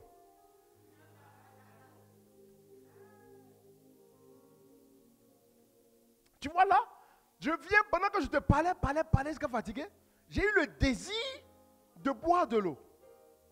J'avais la capacité de boire de l'eau parce que j'ai une bouche, j'ai tout. J'avais, quoi encore? L'opportunité de boire de l'eau. Il y avait de l'eau ici, Dieu merci. Si je n'avais pas d'eau ici, je n'ai qu'à avoir soif. Comment, comment? Je n'ai qu'à avoir désir. Comment, comment? Je n'ai qu'à avoir bras, doigts, bouche, deux bouches, quatre bouches, cinq bras. S'il n'y a pas l'eau, je ne peux pas boire. Donc, qu'est-ce que je fais? Je vais avoir l'opportunité de boire encore. Et c'est ça, c'est comme ça que ça se passe, le péché. OK? Les trois éléments sont réunis. Donc, qu'est-ce que je disais? J'ai parlé de la capacité, j'ai parlé de l'opportunité. Et enfin, le désir que tu as, que tu développes en toi. D'accord? Pour revenir à la capacité, si tu as compris ce que j'ai dit, ce que j'ai expliqué là, ça veut dire que quand tu fais face à un péché répétitif, quelles sont les questions que tu dois te poser face à ce péché répétitif? Le souviens-toi d'où tu es tombé là. On va l'appliquer nous comme ça. On va revenir en arrière. On va faire comme les gars du FBI là. Hein? Ou bien de la police scientifique de Côte d'Ivoire. Eh, Mais bien sûr, on a une police scientifique ici. hein. Ne vous amusez pas. Hein? Restez là seulement. Qu'est-ce qu'ils vont faire? Ils vont venir sur, la scène de crime et ils vont essayer de reconstituer la scène de crime. D'essayer de voir par où le gars est passé. Quand il est venu, il a fait ça. Il a cassé ça d'abord, il n'a pas cassé ça ici. Il a fait ci, il a fait ça. Tu vois? Ils vont essayer de faire ça, de reconstituer le truc. Donc, toi aussi, quand tu pêches, surtout quand tu pêches de façon récurrente, il faut te poser la question. Dans quelles conditions je suis? Tu vois, le, problème, c'est que souvent le désir est tellement fort que le désir, tu as le désir de pécher en toi. C'est c'est lui qui t'empêche d'ouvrir les yeux et de voir la réalité en face. Le désir, le désir, le désir est collant. Chewing-gum Tarzan petit. Le désir est collant comme du chewing-gum. Pourtant, le désir est la chose la plus facile à combattre. Le désir, c'est la chose la plus facile à combattre. Et tu le comprendras dimanche prochain, quand tu seras connecté. Alléluia. Teasing, teasing, teasing. Alléluia. Mais on va s'attaquer aujourd'hui, j'ai dit, je vous ai promis la capacité et l'opportunité. Hein? Il me reste encore assez de temps pour faire les deux. Donc, réfléchis maintenant à un péché qui te fatigue. Il y a un péché qui te fatigue. Il y a un péché qui revient souvent. Souvent, il revient tous les jours. Souvent, c'est- souvent, c'est chaque deux fois par jour. Ou plus. Il y a un péché qui te fatigue, qui t'attriste, qui te fait mal, qui est en train de te déconstruire, qui est en train de te faire perdre confiance en toi. Ça fait que tu n'es même plus capable de prier pour quelqu'un. Ou bien tu ne te sens même pas digne que Jésus te regarde. Parce que toi, tu estimes que les péchés que tu as commis, je parle à quelqu'un, qui, qui a besoin de Christ, qui écoute en ce moment, tu estimes que les péchés que tu as commis sont tellement plus graves que les péchés des autres, que tu as l'impression que l'évangile ou bien le salut de Christ, il est réservé à une catégorie de personnes qui ne s'est pas enfoncé comme toi tu t'es enfoncé. Il y a pas, la Bible dit que si tes péchés sont noirs comme le cramoisi, cramoisi c'est comme du charbon. C'est-à-dire si tes péchés sont noirs comme le charbon, lui Jésus, hein, quand il touche, quand il te touche, le charbon là, il devient plus blanc que de la neige. Hey, ça c'est ce que Jésus fait. Donc, pardon, mon frère, ma soeur, il n'y a pas un péché qui est trop grand, à part le péché contre le Saint-Esprit. Mais même encore quand il y a... Enfin, on va rester là. Mais il n'y a pas de péché qui est trop grand devant le Seigneur. Alléluia. Donc, Jésus n'est pas là pour les gens qui ont des petits péchés, ou bien même les gens qui sont bien portants. Jésus n'est pas venu pour des gens qui vont déjà à l'église. Jésus est venu pour des gens qui ne vont pas justement à l'église. Pour des gens qui ont besoin de salut, qui ont besoin de le rencontrer. La Bible déclare qu'il y a plus celui à qui on pardonne plus, aime plus. Donc toi, la seule différence qu'il y, a aura entre toi et puis celui que tu estimes qui n'a pas trop péché, c'est que toi tu, es, toi, tu vas aimer plus Jésus. Parce qu'il t'aura pardonné plus. Donc qu'est-ce que tu attends? Qu'est-ce qui te retient? Tu danses encore pourquoi Tu hésites pourquoi Il t'appelle, il t'appelle, il t'appelle. Et tu hésites. Tu veux réfléchir à sa place. Tu veux te justifier d'abord. Quand je serai un peu bien, je vais maintenant me donner à Jésus. Ça ne marche pas comme ça. Où est son travail? Où est son rôle? Tu vas chez le, chez le, ceux qui repassent les habits. Blanchisseur. Tu vas au pressing, bien chez le blanchisseur. Tu viens avec ton habit. Et puis toi-même, tu t'es débrouillé pour repasser. Et puis maintenant, tu lui donnes. Tu dis, bon blanchisseur, je suis venu enfin chez toi. hein, mais j'ai déjà repassé l'habit là. Je me suis débrouillé en tout cas. Mais il va dire, mais tu es venu pourquoi Si tu as déjà repassé, pourquoi tu viens me voir alors? Ah non, bon, comme je pensais que tu allais être fâché si c'était pas. Mais il dit, c'est mon travail. C'est mon travail d'enlever les plis. C'est mon travail. Donc pourquoi tu essaies de faire mon travail et puis maintenant tu viens me présenter ça? Laisse. Il dit, il te prend tel que tu es. Façon tu es là. C'est comme ça il te prend. Dans ton comme ça là, c'est comme ça il te prend. Maintenant lui le Père en toi. Vous pensez que... Attends. On a tous donné notre vie à Jésus? Si on devait être juste d'abord, même moi, quand je donnais ma vie à Jésus, je pensais que j'étais juste. C'est-à-dire, je me comparais aux gens, quoi. Et puis il dit, mais par rapport à ceux-là, moi-même, ma vie, là, ça va, quoi? Ça va. Ça va. J'ai une vie quand même, tu vois. Je respecte mes parents. Je vais à l'église. Ça va, quoi. Bon, c'est vrai que, oui, je fais ça aussi, mais bon. Ah, ça, c'est pas méchant. Il y a des gens qui font pire. Il y a des gens qui tuent. Il y a des gens qui violent. Moi, je ne fais pas tout ça. Moi, je ne fais pas tout ça. Si c'est impudicité, c'est impudicité. C'est- pas- on est consentant, c'est pas la même chose. Frère, péché, c'est péché. Quand j'ai donné ma vie à Jésus, le jour où j'ai décidé de donner ma vie à Jésus, juste parce qu'une personne m'avait parlé de Christ, comme aujourd'hui je suis en train de te parler de Christ, juste le jour où j'ai décidé de faire ça, j'ai dit, mais comment on fait pour donner sa vie à Jésus? Parce qu'il y avait une soif en moi. Malgré que je me sentais saint, il y avait une soif, une soif en moi. Cette soif-là m'a fait quoi? M'a fait poser cette question. Comment on fait pour naître de nouveau? Comme Nicodème dans la Bible. Comment on fait pour donner sa vie à Jésus? Et il m'a dit simplement, tu fais une prière. Tu dis, Seigneur, je te demande pardon pour mes péchés. Et papa, papa, tu demandes pardon pour tes péchés. Tu dis, il n'a qu'à venir prendre ta vie. quoi. Mais Il m'a donné cette prière.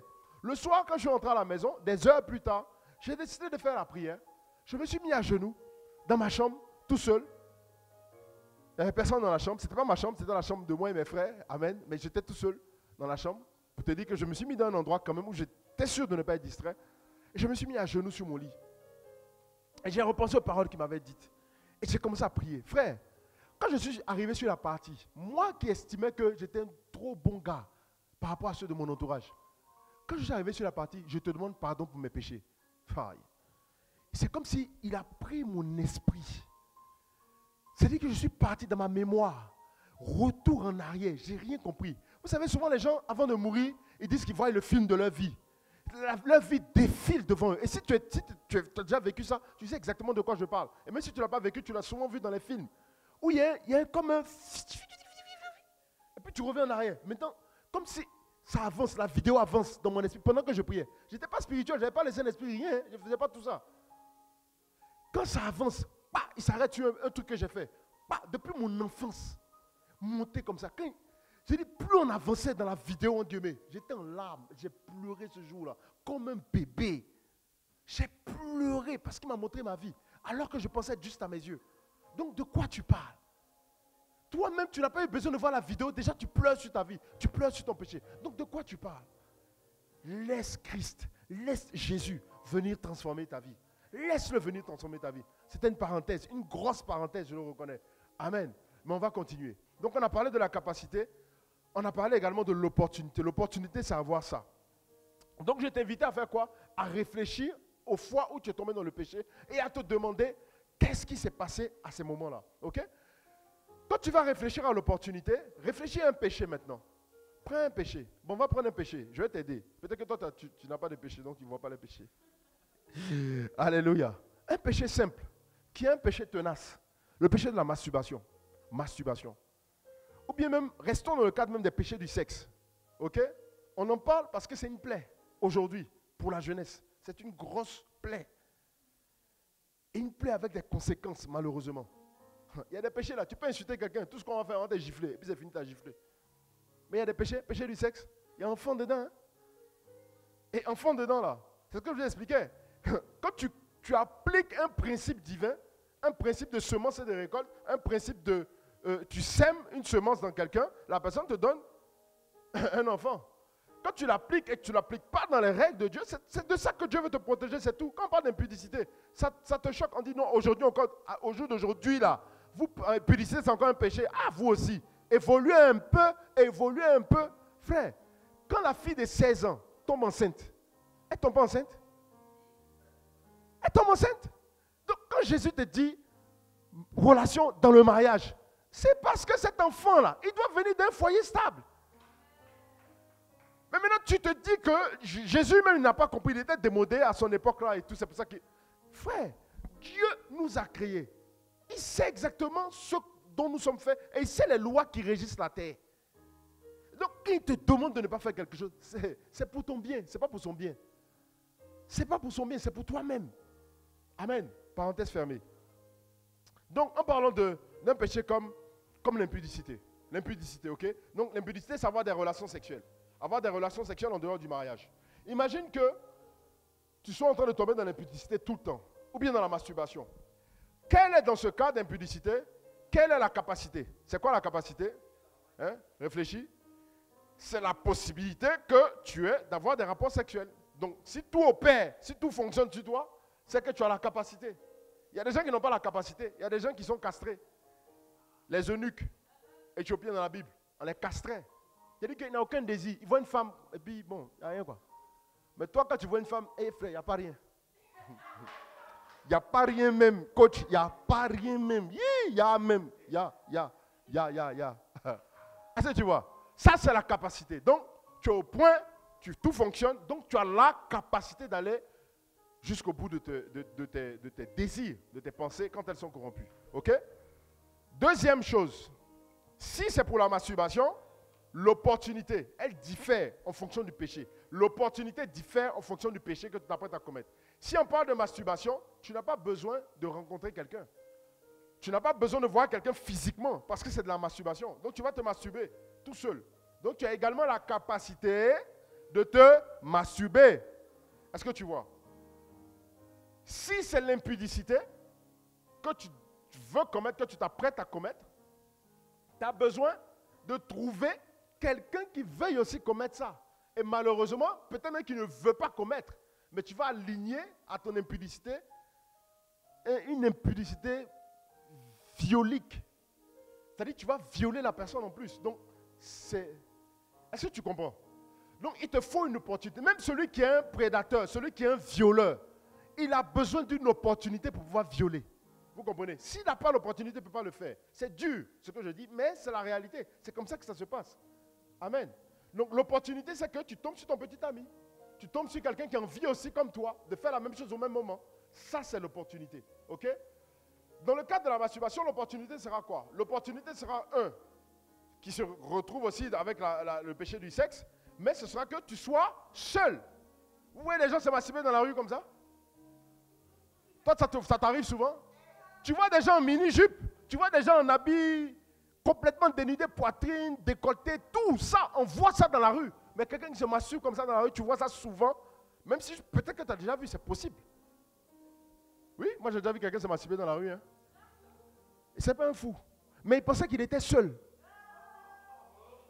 En pleine rue, un vigile. Et avec quoi en main Avec un téléphone, son téléphone. Non, il était en train de regarder une vidéo pornographique et il se masturbait en pleine rue. Mais pourquoi il a pu faire ça? Pourquoi il a regardé à gauche et à droite? C'est parce qu'il avait besoin d'avoir l'assurance qu'il était seul. Donc il a eu une opportunité. Parce qu'il était seul. Alléluia. Donc l'opportunité, c'est ça. L'opportunité, c'est ça. Dans l'exemple que je vais te donner. Maintenant, pense à n'importe quel type de péché. N'importe quel type de péché, il y a toujours une opportunité. Il y a une opportunité qui va venir. Si c'est l'alcool, tu vas avoir une opportunité de boire l'alcool. Si c'est la drogue qui te fatiguait, tu vas à un moment donné avoir une opportunité de boire la drogue. Maintenant, comment tu vas lutter efficacement contre tout ça? C'est la solution maintenant que je vais te donner et c'est le plus important. Si tu n'as rien compris du message, c'est ce que tu dois retenir maintenant. Mais je pense que tu as compris beaucoup même. Tu as très bien compris même. Toi, maintenant, tu as déjà tes solutions. Comment tu vas faire pour t'attaquer au péché? Pour t'attaquer au péché, qu'est-ce que tu vas faire? Tu vas lutter ou bien tu vas casser un seul. On t'a pas dit de lutter sur tout. Hein? Tu vas me dire non, que toi, tu sais que la chair est faible, la chair est faible. C'est ce que tu vas me dire. Oui, je sais, la chair est faible. Mais aussi, on a dit l'esprit, l'esprit est bien disposé. Amen. Tu as sauté, l'esprit est bien disposé, mais tu es parti sur la chair faible. Toujours, tu fais ça. Oublie ça maintenant. Réfléchis aussi, l'esprit est bien disposé. Donc, partant de l'esprit qui est bien disposé, dis-toi que tu dois casser un seul élément. Attaque-toi à un seul des éléments et celui qui est le plus accessible pour toi, celui qui est le plus facile pour toi. Parce que je reconnais, je ne dis pas que c'est évident. Le péché, c'est le péché. hein. Mais le Saint-Esprit, c'est le Saint-Esprit aussi. Alléluia. Le Saint-Esprit, c'est le Saint-Esprit aussi. Il veut, il, veut, il veut arrêter d'être fatigué. Il veut arrêter que tu l'attristes. C'est pour ça qu'il te donne ses paroles. Donc, regarde dans la configuration du péché, là, dans cette loi, dans ce cercle dans lequel tu es là. Regarde un élément sur lequel tu peux t'attaquer. Dans l'exemple de la masturbation, ce sera quoi? On a dit qu'il y, a- y a la capacité, oui, bien sûr. Donc, première possibilité, si on parle de capacité, qu'est-ce que tu peux faire face au péché du sexe? Si tu dois t'attaquer à la capacité. Hein? Qu'est-ce que tu dois faire? Réfléchis, tu fais quoi? Capacité, on a dit, c'est quoi? Savoir les moyens de pouvoir. faut couper. La Bible dit que si ton bras est pour une occasion de chute, qu'est-ce que tu fais? Jésus nous dit quoi? Arrache-le et jette-le loin de toi. Car vaut mieux rentrer au ciel manchot, vaut mieux rentrer au ciel bonne. Quand tu arraches ton œil, si c'est ton œil qui te fait pécher, vaut mieux rentrer au ciel comme ça. Toclo, toclo, tu marches, mais quand même tu rentres au ciel. Plutôt que d'avoir tous tes bras, tu es mignon, ouais, de là, c'est petit choco, mais c'est enfer. Maintenant, comme je sais, toi et moi, comme on sait que, vrai, vrai, là, couper bras, tout ça, couper les hauts, c'est compliqué. Tu vois? Et c'est bien, c'est bien parce qu'en réalité, ça te fait pécher aujourd'hui, mais demain, ça ne sera plus un péché pour toi. Quand tu seras marié avec ton excellente épouse, avec ton excellent époux, ça ne sera plus un péché pour toi. Et ce serait dommage qu'à cause du péché, tu te sois privé d'une capacité dont tu as besoin. Alléluia. Donc moi-même, je t'encourage. Ne coupe pas d'abord. Laisse ton couteau. Laisse ton couteau que tu as pris là. Hé, tu as déjà coupé. Alléluia. Écoute la suite du message. Laisse le couteau d'abord. Laisse le couteau, je sais. Je sais, tu es un frère, toi tu appliques la parole. Laisse le couteau, laisse le couteau. Ok. Je vais te donner les autres possibilités. Après, tu vas réfléchir. Si maintenant c'est trop chaud là, tu vas faire. Amen. Mais vous savez qu'il y a des gens qui se castrent parce qu'ils doivent s'occuper des concubines du roi. On les castre, on les castre. Les hommes, c'est eux-mêmes qui veulent. hein. Mais Paul, par exemple, Paul s'est fait eunuque. Paul s'est fait eunuque. À cause du Seigneur, à cause de l'évangile. Parce qu'il ne voulait pas avoir une famille quelque part. Chaque fois dans ses voyages missionnaires, il aurait besoin de revenir. Donc il a dit non, je consacre toute ma vie là. C'est ça, c'est ça, c'est ça qu'aujourd'hui, bon, on veut faire à gauche, à droite, et puis c'est chaud là. Et non, c'est qu'ils veulent faire, mais c'est chaud quoi. C'est chaud, c'est chaud. Nous, on voit que c'est chaud. Et puis, tu as dit, tu fais pas, mais quand même, tu es enfant, on ne comprend pas. C'est compliqué. Frère, ce n'est pas tout le monde qui a cette onction-là. Donc, il faut laisser. Si tu n'as pas l'onction là, attrape ton cœur. Quand tu seras en position de, de- faire ce qu'il y a à faire, de te marier, tu vas le faire. OK? Pas entrer dans des engagements bizarres.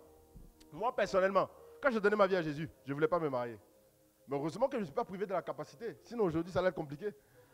Alléluia. Mais Paul, Paul dit, Paul dit hein, auront des tribulations dans la chair. Bon, c'est Paul qui dit. Il faut aller méditer ça dans 1 Corinthien, ou bien 2 Corinthiens, 1 Corinthien. C'était mon livre, hein. j'écoutais ça tous les jours. Il y avait une cassette, quand je venais me convertir, celui qui m'a prêché l'évangile, Il m'a donné la Bible en audio. La Bible en audio, c'était deux cassettes. Un Corinthien et puis deux Corinthiens. Donc, matin, midi, soir, c'est ça qui passe dans ma tête.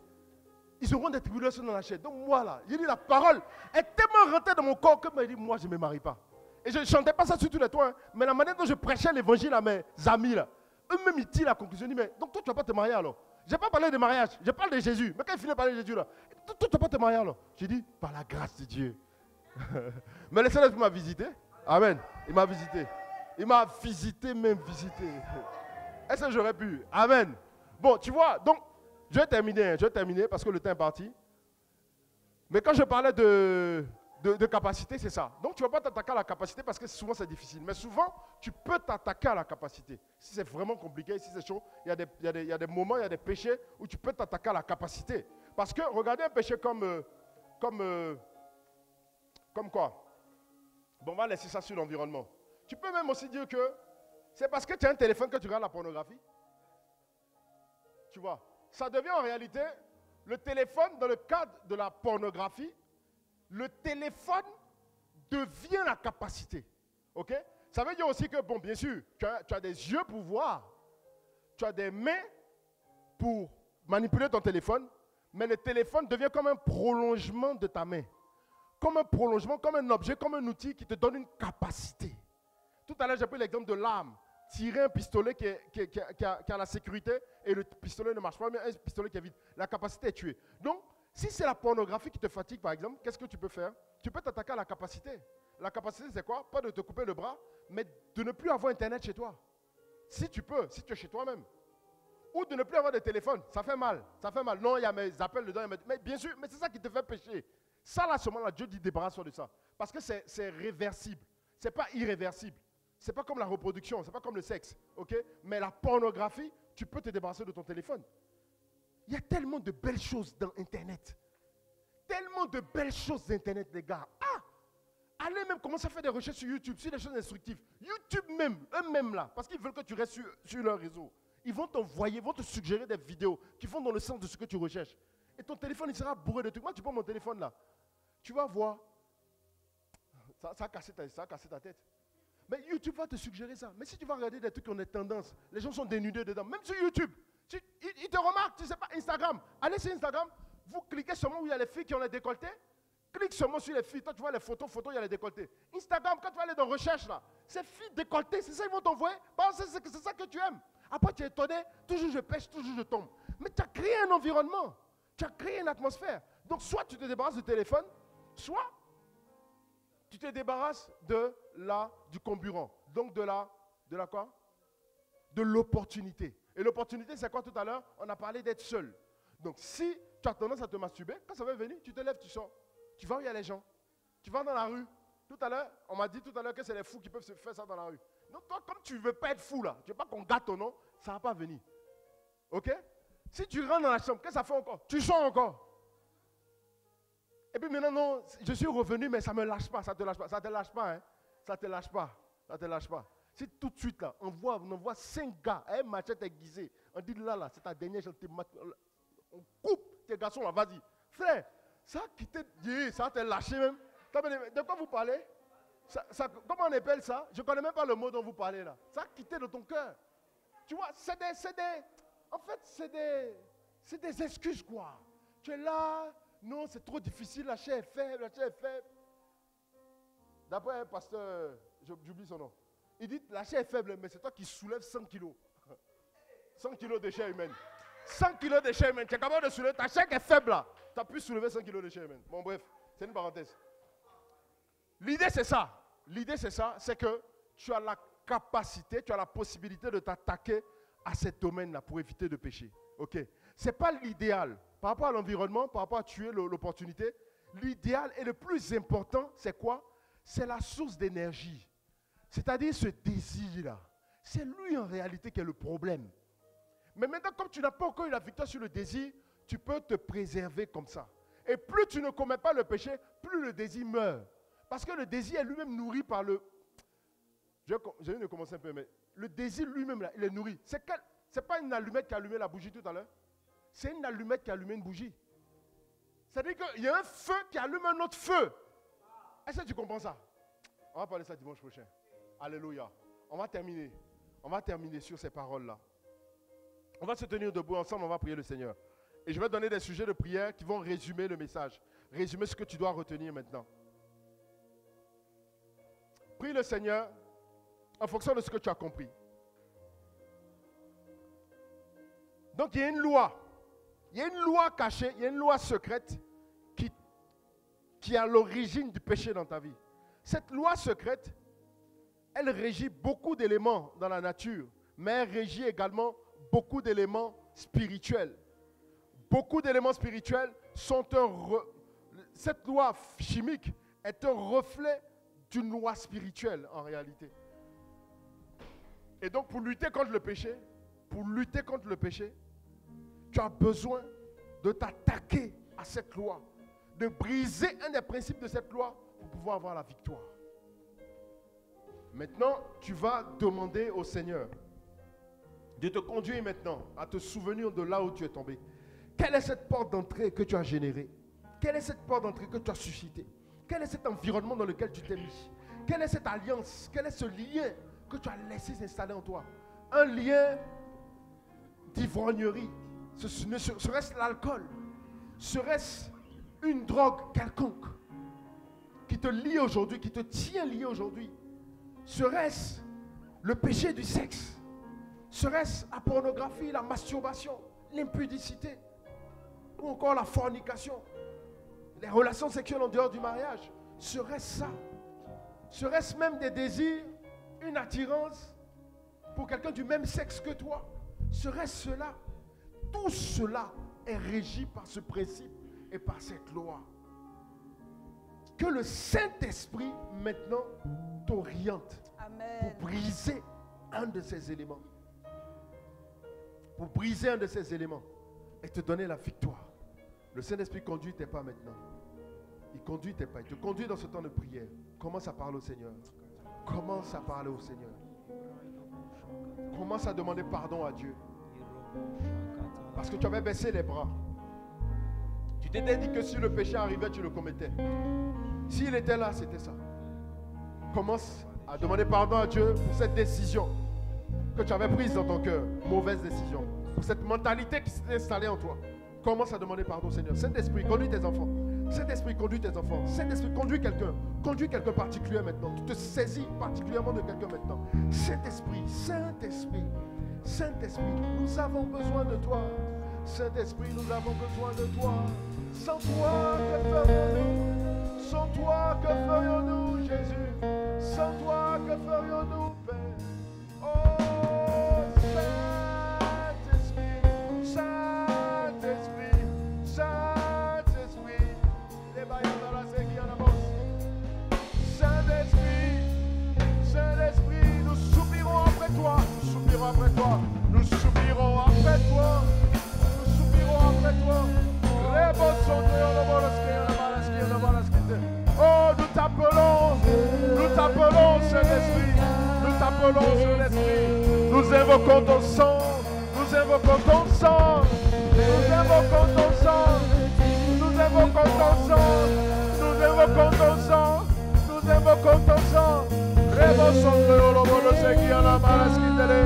Donne-nous la victoire, Saint-Esprit. Donne-nous la victoire, Saint-Esprit. Brise-nous la capacité. Brise-nous l'opportunité les désirs qui nous poussent au péché, qui nous poussent à aimer le péché. Brise-nous ces choses. Brise-nous ces choses. Voici nos vies, voici nos vies, voici nos vies. Pour te servir. Pour te servir. Pour te servir.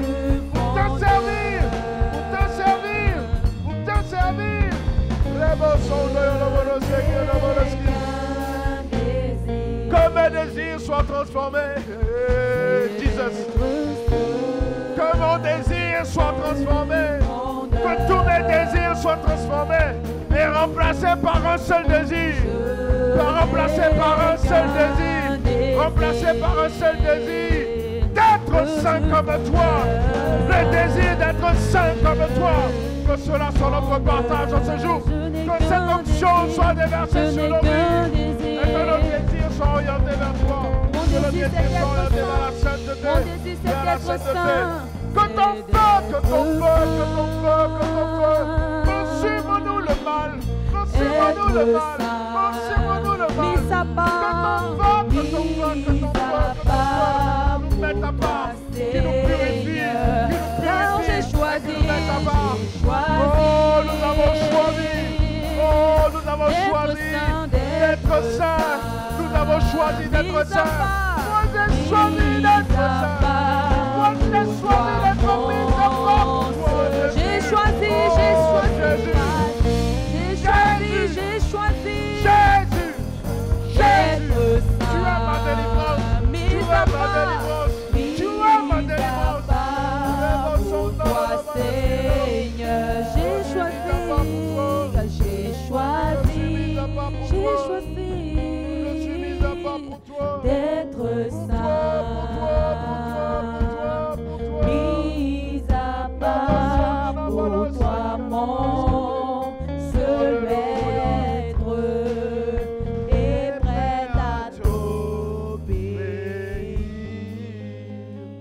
Alléluia. Je vais t'inviter à, à poursuivre ce message avec nous le week-end prochain.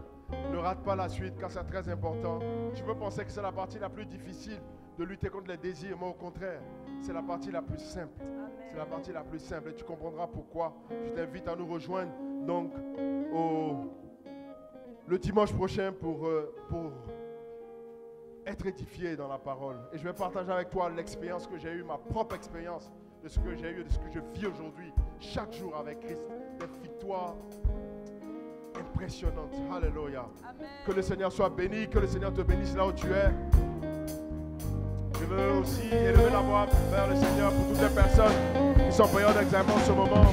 Recevez sa sagesse, recevez son intelligence, recevez ses directives dans le nom puissant de Jésus-Christ de Nazareth. Alléluia. Que Dieu vous bénisse. Et à très bientôt, je vais laisser la place au dirigeant qui va nous conduire dans la suite du moment.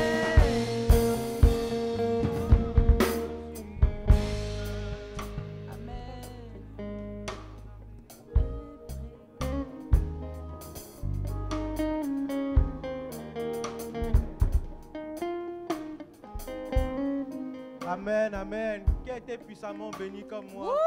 Waouh Amen. Avons été puissamment édifiés, puissamment bénis par cette parole. Et nous allons passer au Bloom News.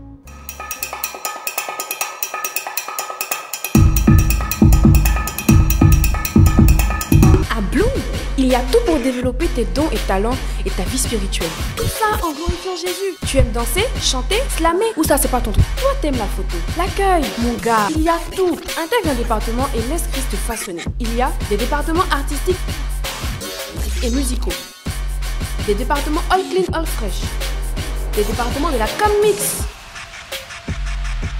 Des départements d'accueil. Des départements organisationnels le département de protocole et le département de prière et délivrance. Dépêche-toi d'intégrer ton département, car ça ne fait que commencer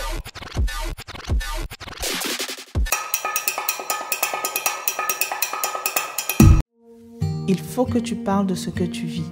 Ne garde pas les mauvais trésors de ton cœur. Il y a pour toi une équipe de coachs disposée à t'écouter.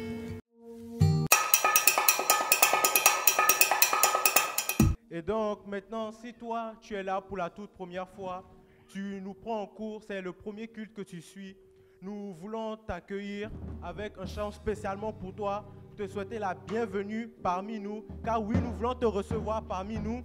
Et n'oublie pas de, il y a un numéro qui s'affichera en bas de l'écran. N'oublie pas de contacter ce numéro afin de pouvoir te renseigner, prendre davantage d'informations et être avec nous. Donc ensemble avec ce chant, nous te souhaitons la bienvenue. De là où tu es, tu vas te lever pour danser avec nous. Avec ce merveilleux chant, nous voulons te recevoir. Hey! Monde. Bienvenue à Bloom. Tu es ici chez toi. Ah, c'est une joie pour nous de te recevoir. Bienvenue à Bloom. Tu es ici chez toi. Ah, c'est une joie pour nous de te recevoir. Nous sommes heureux de te recevoir parmi nous. Rempli du Saint-Esprit, ta vie fera boum. Chargé, Chargé. tu Saint-Esprit, on est chargé. Chargé. Rejoins l'équipe, on va prêcher. Prêcher. Pour que les nations soient changées. Chargé. Ah, chargé. Chargé. Du Saint-Esprit, on est chargé. Chargé. Rejoins l'équipe, on va prêcher. Prêcher. Pour que les nations soient changées.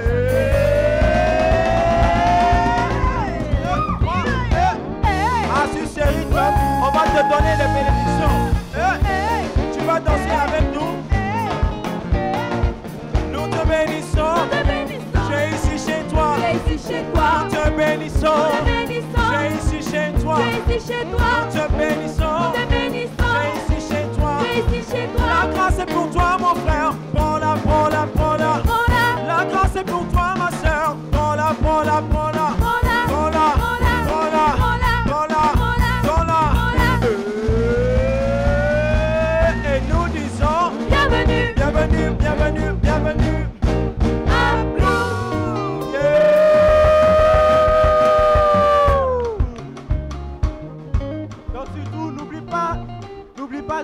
Contacter au numéro qui va s'afficher en bas de ton écran afin qu'on puisse te recevoir, prendre plus d'informations sur toi, que tu puisses avoir plus d'informations sur le ministère et bien sûr rejoindre un des départements afin que tu puisses t'enjailler avec les enjaillés de Jésus. Ok, donc nous allons finir, clôturer ce moment par la prière. Nous allons remercier le Seigneur qui nous a enseigné, nous sur aujourd'hui pouvoir nous priver, nous couper des capacités ou des opportunités qui nous poussent à pécher. Père, nous voulons te remercier dans le nom de Jésus pour cet enseignement que tu nous as donné, ce puissant enseignement que tu nous as donné par ton serviteur. Nous te remercions puissamment pour ce message, Père. Aide-nous à appliquer ces, mé- à appliquer ces paroles, à ne pas être des auditeurs oublieux, mais à appliquer ta parole à notre vie, afin que nous puissions avoir la victoire sur le péché et que l'honneur et la gloire puissent, te soient rendu- puissent être rendus à toi seul. Au nom de Jésus. Amen.